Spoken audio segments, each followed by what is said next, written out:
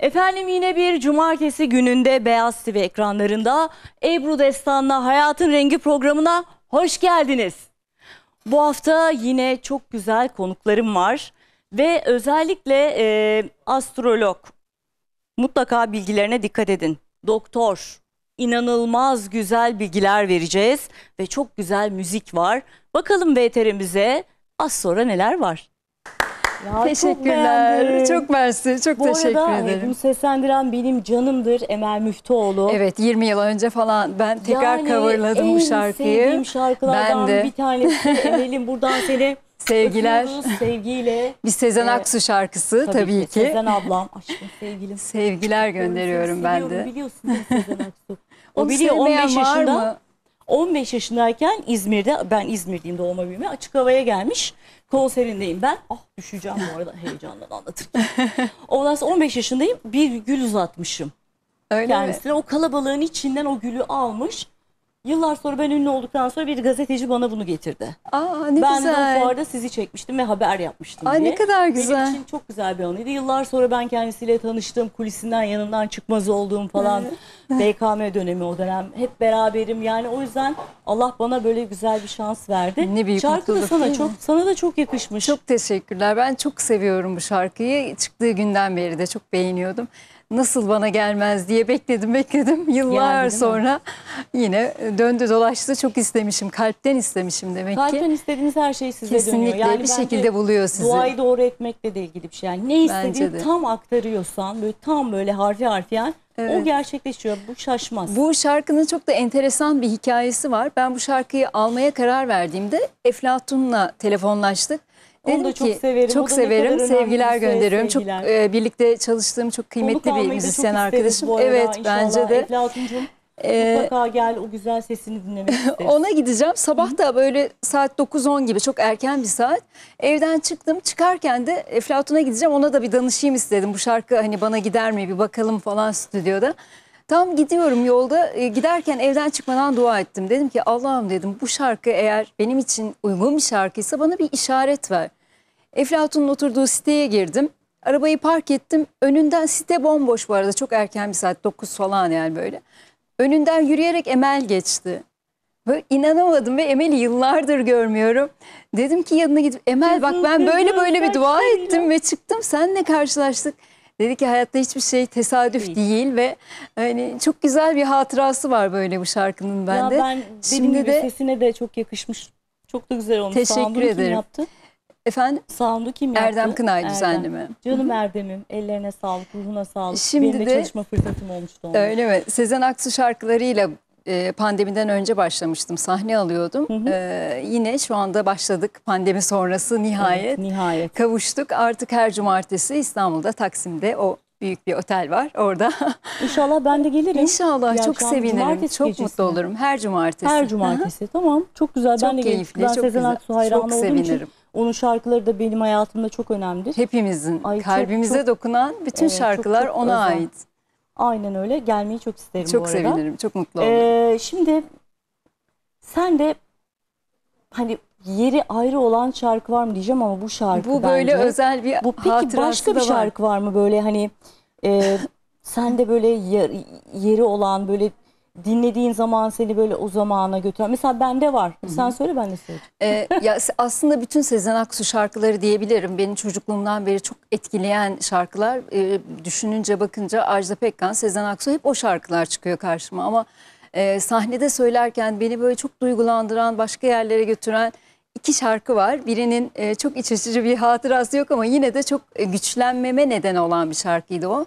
Rüya şarkısı Sertab Erener söylemişti yine Sezen Aksu'nun. Şey o yılda Hadi yüreğim o gayret hele sıkı dur hele sabret. O, Başını Evet. eğmedik. bu bir rüyaydı farz et. Müthiş. farz et. Evet. Olsun canım her rüyadan uyanırız. O- bazısı iyi olur, bazısı Evet, kötü olur. ben o bazısı dönem çok- öğretir. Tabii Ama tabii. illa o biraz öğretir. e, benim için üzüncü bir döneme denk Aşktı gelmişti. herhalde, bir hayır aşk. hayır değil. Değil. Çok büyük bir trafik kazası geçirmiştim ben 19 yaşındayken.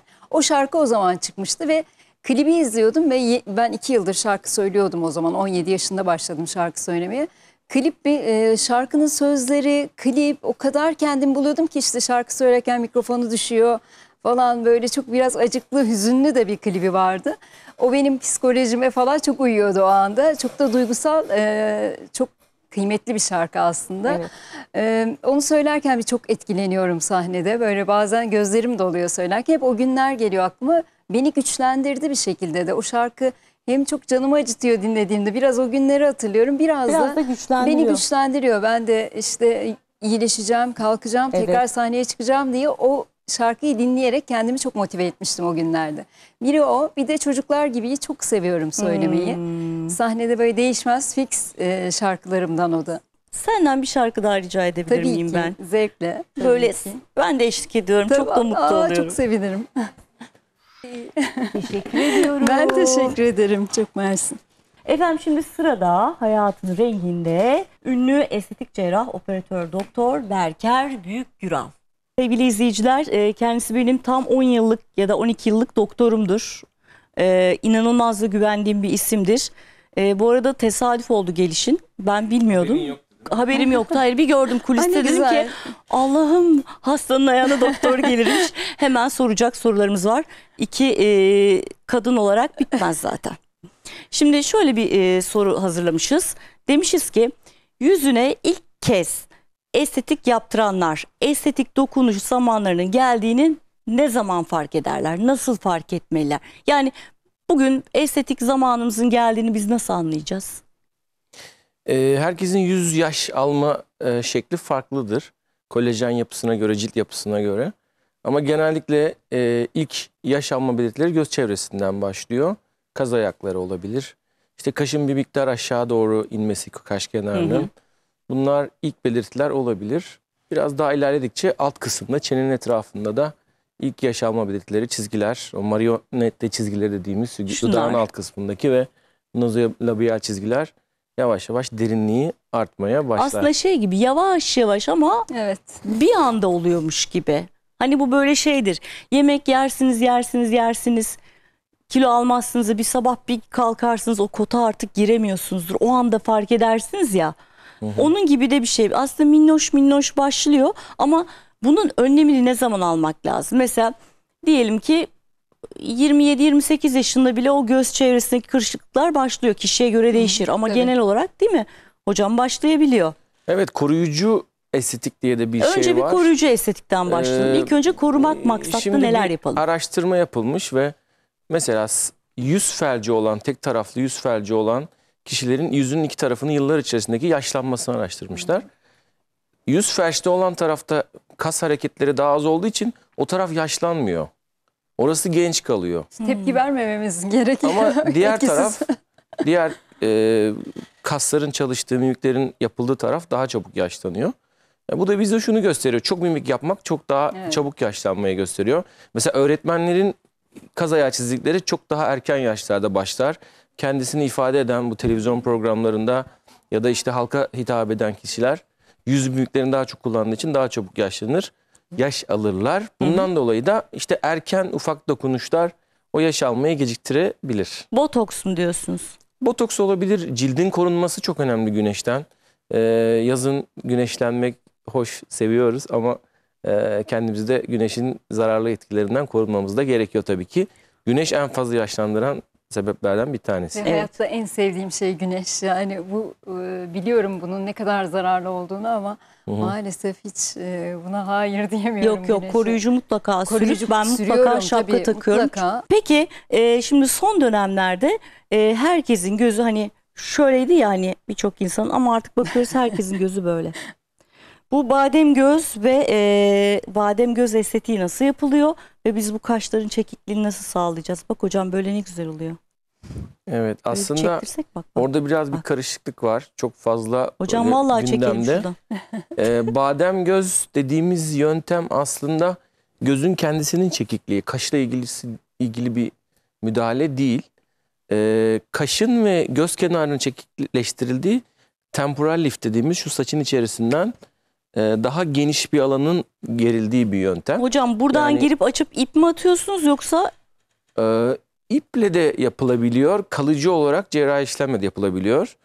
Ee, tabii ki o cerrahi işlemle olan daha kalıcı. Peki bunun İpler bir süre nasıl sonra kendini bırakıyor ve eski haline dönüyor. iplerde geri dönüşüm oluyor. Peki Evet. cerrahi bir uygulamada e, mesela Bülent Ersoy geçen programda demişti ki benim yüzümün gerginliğinde bant kullanıyorum demişti. Her çekim öncesi buradan bantlarla yapıştırıyorum. Evet, yapıyorlar makyaj Bunun bant öncesi. sistemini cerrahi olarak nasıl yapabiliriz? Buradan kesiyi alıp içteki Hı hı. şeyi mi kasları mı çekeceğiz? N- n- nasıl Şimdi yapıyoruz?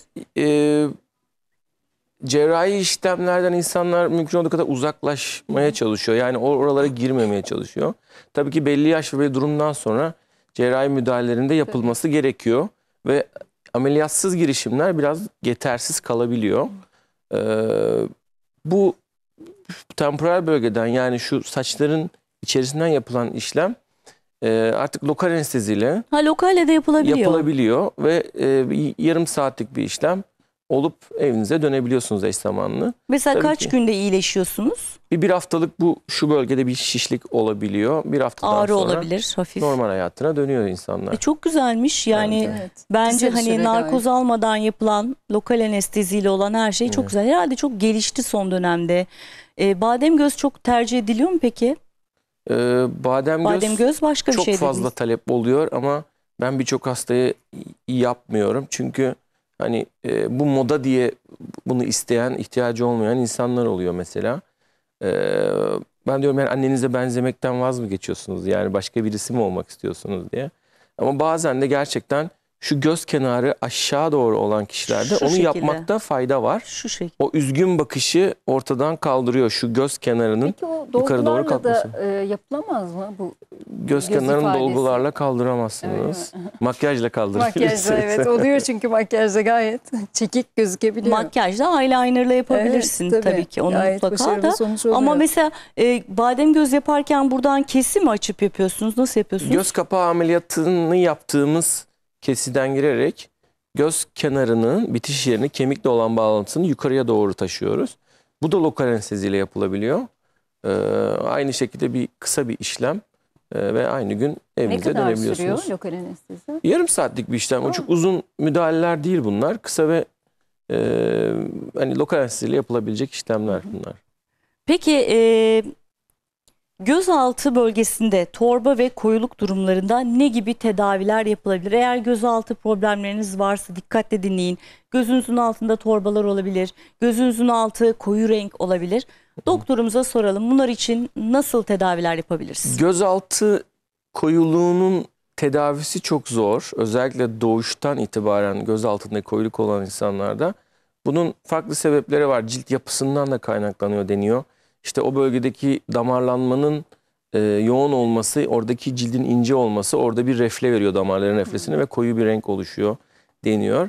Bizim en sık yaptığımız gözaltı koyuluklarını açmak için ışık dolgusu dediğimiz Çok dolgular. bir şey o. Işık dolgusu kalıcı bir kamuflaj aslında. Hani Evet. makyajla e, her gün uğraşacağınızda onu yapıp Evet, bir, bir buçuk yıl kadar etkisi devam ediyor.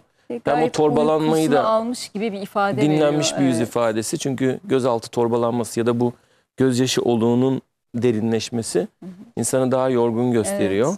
E, Işık dolgusuyla bu tedavisi yapılabiliyor. Peki gözaltı torbası için daha cerrahi bir şey mi Ee, yapmak lazım? Torbada ve ciltteki gevşekliklerde, kırışıklıklarda göz kapağı ameliyatı, alt göz kapağı ameliyatı e, ile kalıcı sonuç alınabilir. Alt göz kapağının içinden e, şuradan girip bütün bu Kirpiklerin altından kirpiklerin insizyonla- kesim açıyorsunuz hocam. Bunlar artık lokal buradan? anesteziyle yapılabiliyor yani aslında Lokal uyumadan. yapabiliyorsunuz. Evet, lokal anestezi altında üst göz kapağı ve alt göz kapağı bazen de eş zamanlı olarak yapılabiliyor. Ee, zaten bu pandemiden dolayı e, insanlar hastanelere Evet. veya da uzun yatışlar istemiyorlar.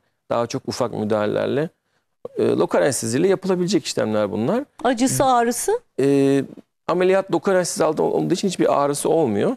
Tabii ki bir, bir hafta kadar bir şişlik oluyor göz altında. Morluklar olabiliyor. Ve ona göre insanların sosyal hayatını ayarlaması gerekiyor. en az bir, bir hafta 10 gün. Evet. E, belki bir kapatıcı sürebilirsiniz. Belki gözlük takabilirsiniz. Beyler yine ona keza bir, bir hafta dinlenmeniz gerekiyor. Ama bence erkek ve kadında mutlaka dikkat etmeniz gereken bir şey şu göz altı, göz üstü özellikle kapağı düştüğü zaman kesinlikle gidip yaptırmanız lazım. Çünkü bu insanın sağlığıyla da ilgili bir şey. Her şey estetik sadece görüntü değil değil mi hocam? Yani bakışınızı da engelleyen bir şey bu. Görüş, Şimdi şöyle, görüşünüzü. göz kapağınız alnınızdaki çizgileri arttırıyor.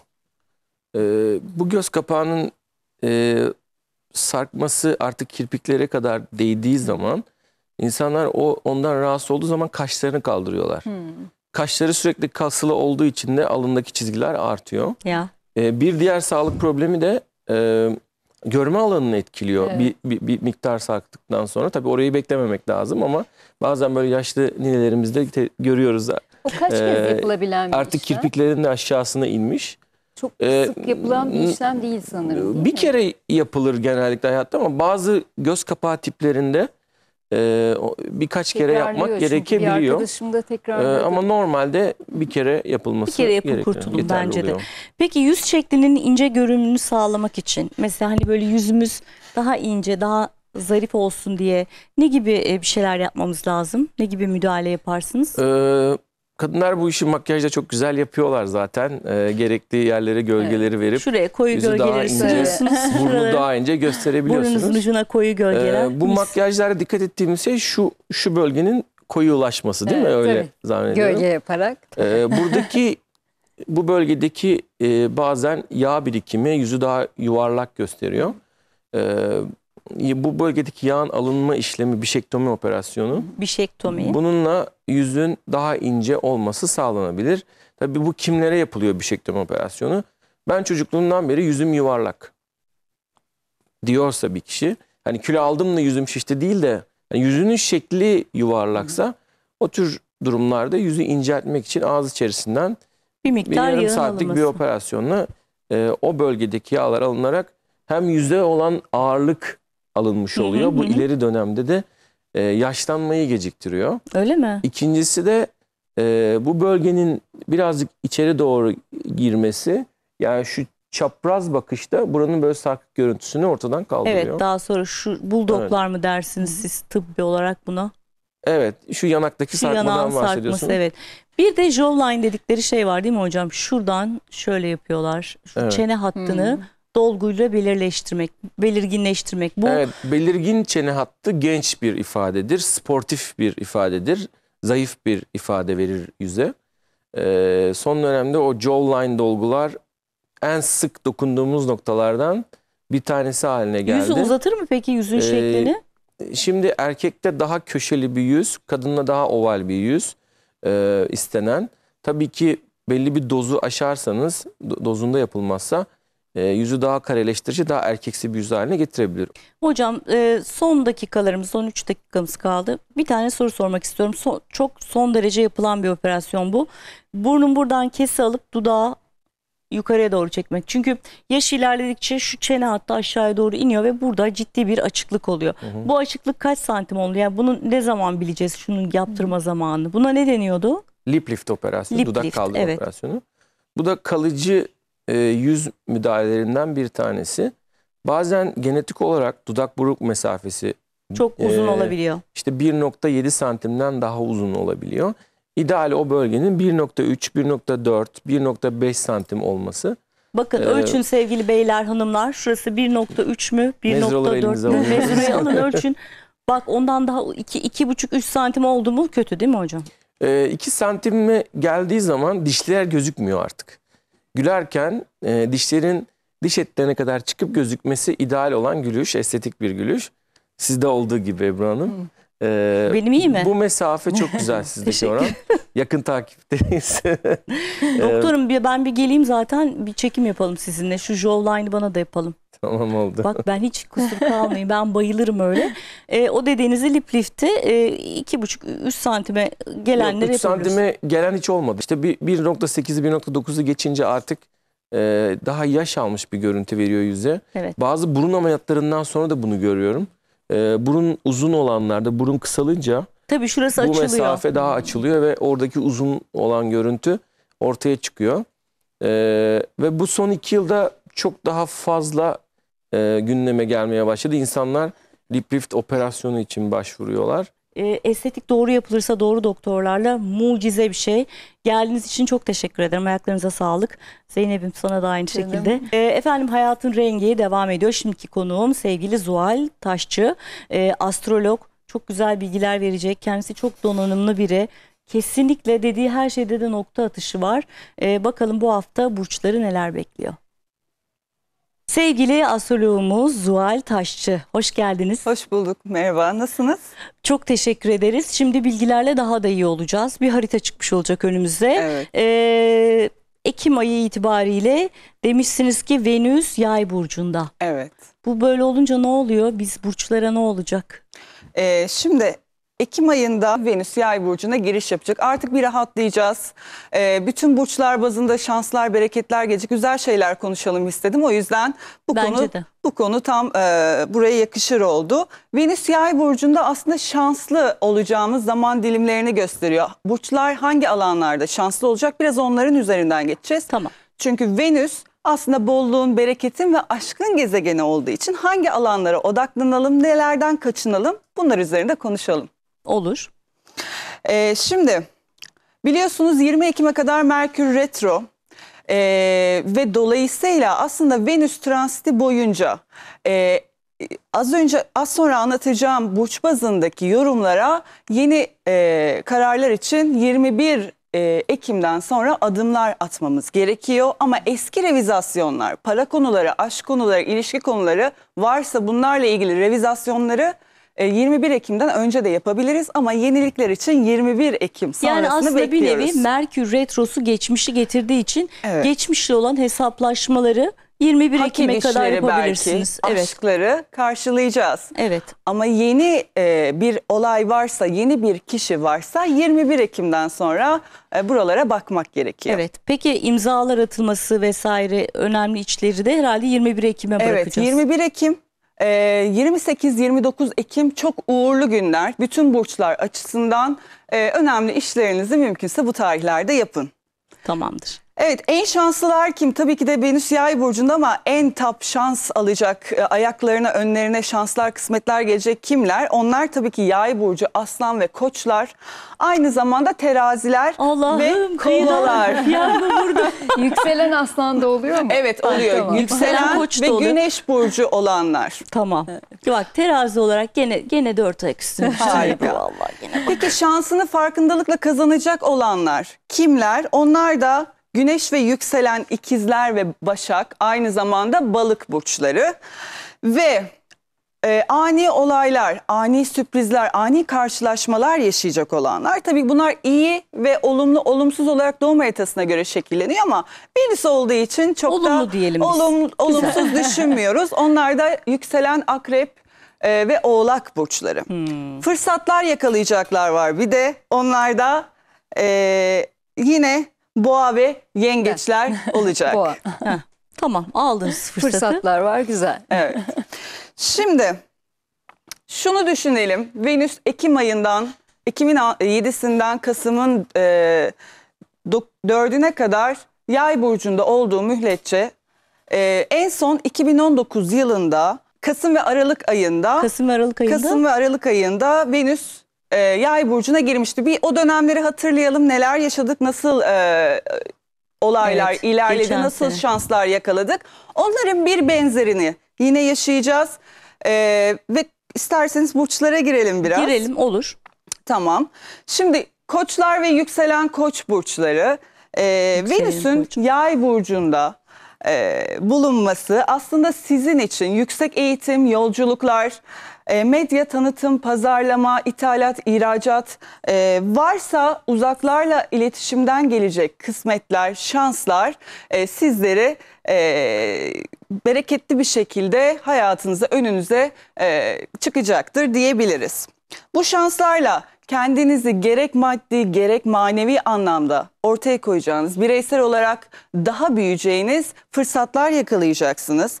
Ufkunuzun koç burçları olarak daha derinlere temas edeceği zamanlar bunlar. Ve Merkür Retrosu hatırlatmak zorundayım. 20 Ekim'e kadar yeni bir başlangıç yok Ee, ama e, bu eski yarım, yarım kalmış bir eğitiminiz varsa bunun üzerine gidebilir. Ee, uzaklardan tanıdığınız insanlardan gelen projeleri kabul edebilir ama tanıdığınız insanları ve aslında e, imzalar atılacaksa daha önce üzerine düştüğünüz ama sonuçlanmayan hukuksal problemler de buna dahil ya da hukuksal konularda dahil buralarda güzel fırsatlar yakalayabilirsiniz. Boğalara ne olacak? Boğalar ise parasal konuda oldukça şa- şanslı. Çünkü maddi konular Venüs'ün yaya girmesiyle beraber daha şekillenecek, rahatlanacak. Ee, aynı zamanda ortaklı kazançlarda kazanımlar, ek gelirler.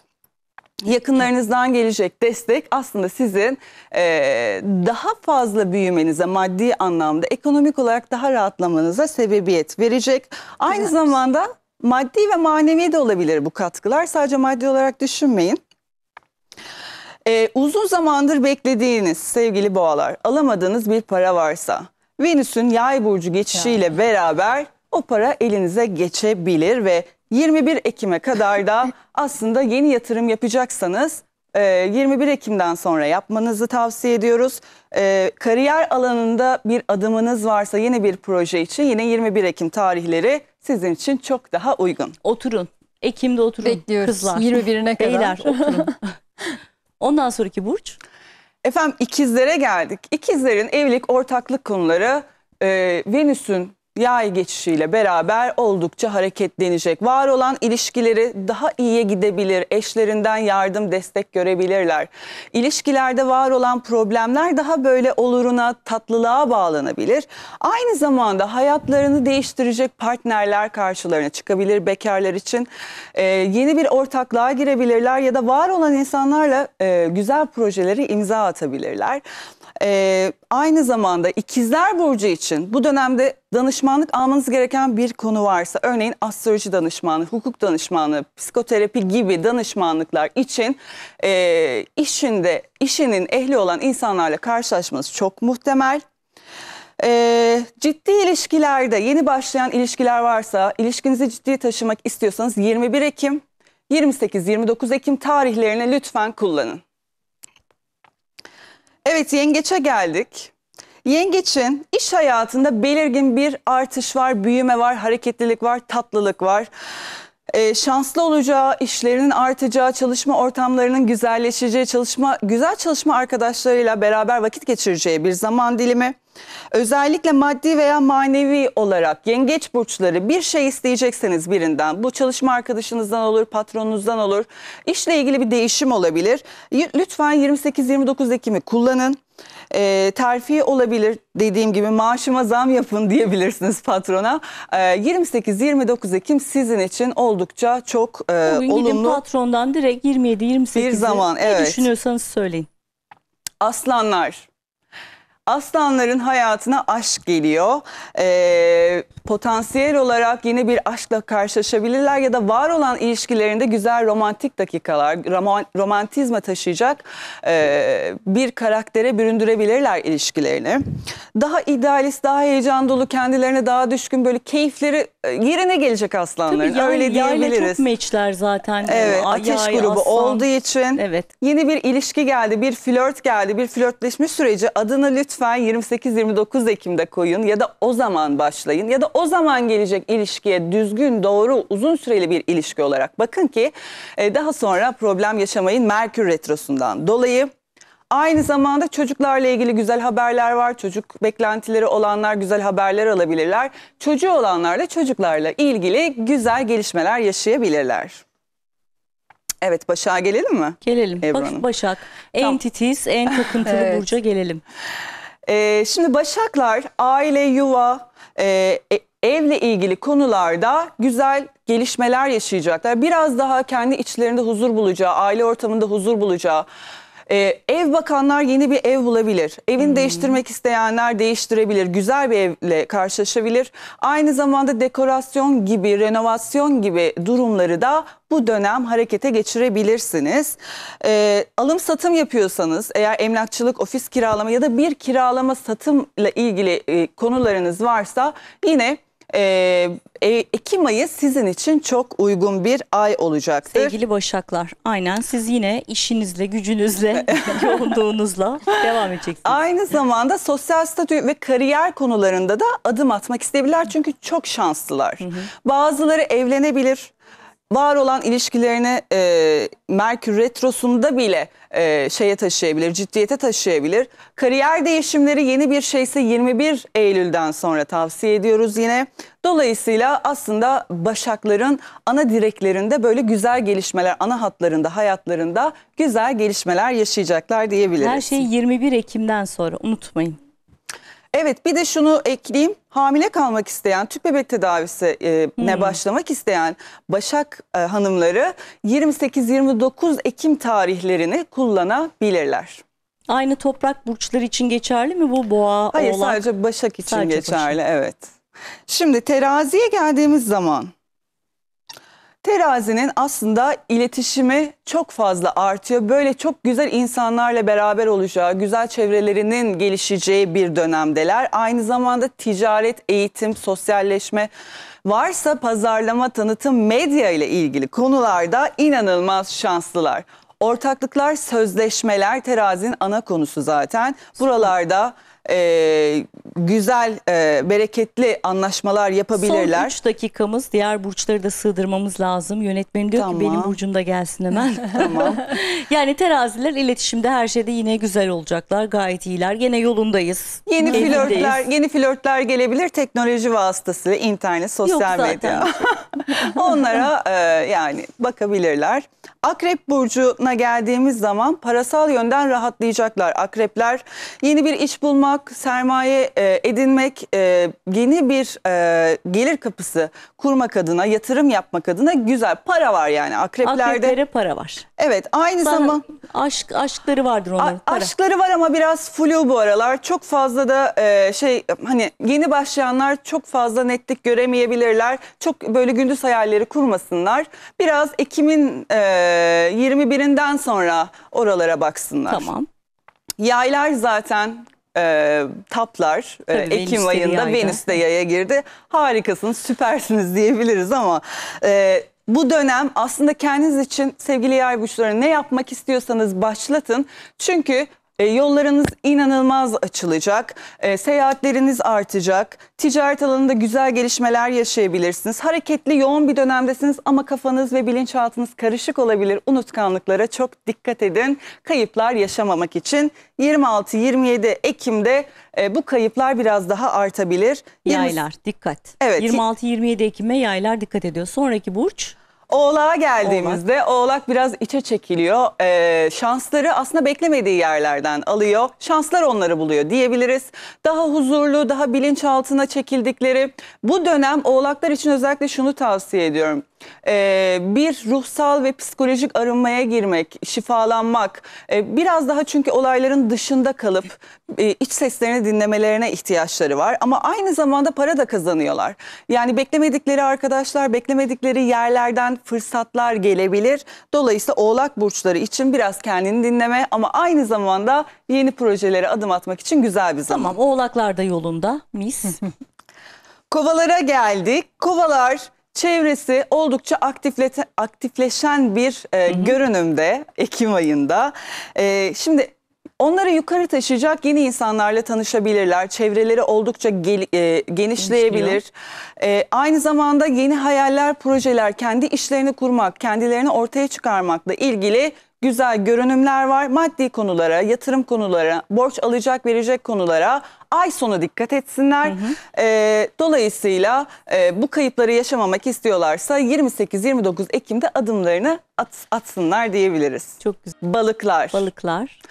Toplum önündeki duruşları oldukça şanslı, bereketli balıkların e, kariyer anlamlı anlamında mesleki başarıda kendilerini gösterecekleri bir noktalar noktadalar Ekim ayında. E, evlilik, çocuk sahibi olmak için e, şanslı bir dönem 28-29 Ekim'de. E, aynı zamanda iş değiştirmek, mesleki anlamda adım atmak. Çünkü hep kariyer alanında şekillenmiş balığın biraz e, kariyer alanında adım atmakla ilgili 28-29 Ekim'i kullanabilirler. Bak her burç da söylemedi onu size Evet. söyledi ona göre. Biz genelde 21 Ekim'den sonrayı bekleyeceğiz. Evet. Hepimiz. Genel olarak burçlar bence gayet güzel. Bu Evet. yay bize iyi geldi. Kesinlikle bir Gayet nefes aldıracak artık. Aldırsın artık zaten. Yani hani bayağı bir zorladı. Mesela Dolunay'da o gelgitlerde bile insanın vücudu bile şişmeye Kesinlikle başlıyor. öyle. Bu mesela yıldızlar dediğiniz, dolunay dediğiniz gökyüzü olayları kesinlikle insanın vücuduyla uyumlanan bir şey. Ve ruhunuz da Biyolojik başlıyor. ritminizle Evet. uyumlu. Evet. Yani o yüzden burçlara hani diyorlar ki işte bütün dünyadaki insanı bu kadar şeye mi sığdırdınız? Hayır alakası yok. Bu astroloji dedikleri çok derin bir şey. Evet kişisel bazda elbette etkileri değişiyor ama biz tabii genel anlamda anlatmaya çalışıyoruz. Her burç kendine özel, her harita, her kişinin kendine özel bir e, görünümü var. Ama buradan e, işte yani aktarabildiğimiz kadar genel görünümleri aktarmaya çalışıyoruz. Çok teşekkür ederiz. Ben teşekkür geldiğiniz ederim. için. Ee, efendim gördüğünüz gibi Zeynep'ciğim bu, bu ay Tabii. gayet keyifli bir ay olacak hepimiz için İnşallah, inşallah. hepimiz için. Ee, Hayırlı uğurlu ayağınıza olsun. sağlık. Ben Çok teşekkür Çok ederim. teşekkür ediyorum. Efendim bu haftalık bizden bu kadar. Haftaya yine hayatın renginde bu destanla birlikte olacaksınız. Önümüzdeki hafta görüşmek üzere. Hoşçakalın.